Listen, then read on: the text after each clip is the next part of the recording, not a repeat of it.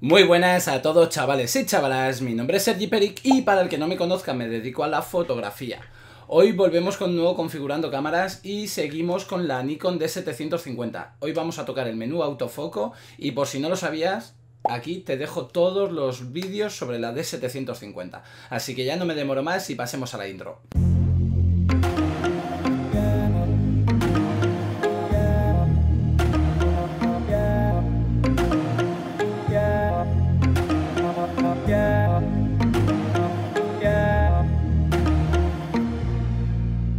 Bien, como os he dicho antes de la intro, hoy vamos a tocar el menú de autofoco de la Nikon D750. Para ello voy a conectarla al ordenador y vamos a ver qué trae de nuevo este menú. Bien, una vez que la tenemos conectada vemos que la primera opción es restaurar configuración personal. Aquí dejaríamos todo de fábrica. Eh, lo primero que vamos a hacer es entrar en autofoco y aquí tenemos una serie de opciones. La primera, selección de prioridad del autoenfoque continuo. Si entramos, tenemos que enfoque o al disparo. Yo lo tengo para que enfoque. Eh, si aprieta, si no encuentra foco, no dispararía. Si le damos que tenga prioridad al disparo, tanto si enfoca como si no, dispararía la fotografía. Luego, selección de prioridad de autoenfoque simple, de un solo disparo. Que, vamos, que no enfoca de forma continua. En este lo tenemos también en modo enfoque. Esto ya, si vas a disparar ráfagas, te recomendaría que lo pusieras en disparo aunque alguna foto se te vaya al foco, pero por lo menos tendrías alguna seguramente bien. Luego, seguimiento de enfoque eh, C-Lock On.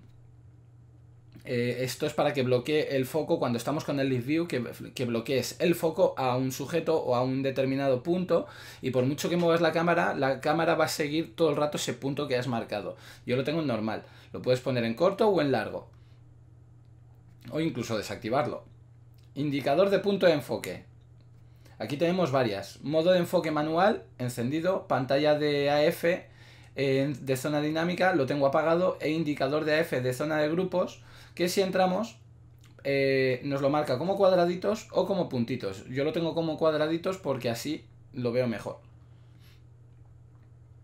Iluminación de punto de enfoque, yo lo tengo en automático. Si hay mucha luz, es tontería que destelle la cámara para buscar foco. Y si en cambio, si hay menos luz, pues se enciende esa lucecita para guiarse a la hora de enfocar. Esto ya, aquí lo tenemos en automático, activado o desactivado. Si lo activamos, pues lógicamente siempre va a salir lo que es esa lucecita, eh, con la consecuencia de que gastará mucha más batería. Avanzar eh, puntos de enfoque, yo lo tengo en apagado. Aquí podríamos ponerlo en bucle o tenerlo apagado. Eso es para avanzar. Si sabes que va a haber movimiento, que se avancen los puntos de enfoque. Número de puntos de enfoque. Esto va sobre gustos también. Yo lo tengo en 51. Hay gente que lo pone en 11 y hay gente que directamente le da el botón del bloqueo y se centra solo con el punto central y ya reencuadra. Yo lo tengo en 51 puntos de enfoque y listo. Sobre todo porque cuando hago vídeos me gusta que vaya enfocando por toda la escena. Almacenamiento de puntos por orientación. Yo lo tengo apagado. Lo puedes encender y puedes crear esos puntos para que se vaya orientando la cámara. También esto va sobre gustos. Yo para tema fotográfico no lo utilizo. Y el último es la luz de ayuda AF integrada, que la tengo encendida y también la podrías desactivar. Esto es más o menos lo mismo que os he explicado antes, pero aquí ya directamente con, la, con lo que es la lucecita esta de aquí del, de la cámara.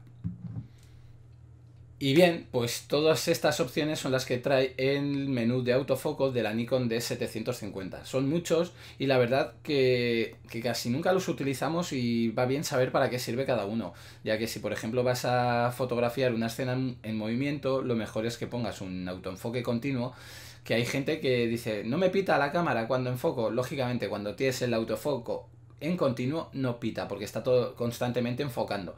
Eh, en cambio, cuando lo tienes en simple o en single, lo que es el AFS, lógicamente hasta que no encuentra el foco no pita. Y yo te recomendaría que hasta que no pite no dispararas. Pero esto ya va sobre gustos. Luego sí que es verdad que si vas a disparar en ráfagas, eh, te recomendaría el autofoco continuo y con prioridad al disparo más que al enfoque. Pero bueno, esto ya dependiendo del tipo de fotografías que vayas a realizar. Yo de normal lo tengo en modo single y con prioridad al foco, ya que para una sesión de retratos no necesito que la cámara dispare muy deprisa ni nada por el estilo. Así que eso ya va sobre gustos. Luego lo de la luz de ayuda va muy bien, sobre todo cuando vas a fotografiar eh, con muy poquita luz, que por lo menos pegue ese fogonazo, vea dónde está la escena y consiga pillar foco. Pero bueno, son conceptos muy muy básicos, pero son imprescindibles a la hora de tomar una buena fotografía. Y bueno, ¿qué os ha parecido el vídeo? La verdad que este menú es bastante sencillito, pero tiene sus cosas y poquito más. Como siempre, por aquí os dejo mis redes sociales. Si tenéis alguna duda, dejármela en la cajita de los comentarios. Y poquito más. Por aquí te dejo mi icono para que te suscribas si todavía no lo has hecho. Y por aquí un vídeo que estoy seguro que te puede interesar. Así que ya no me demoro más, chicos, y nos vemos en el siguiente vídeo. Un saludo.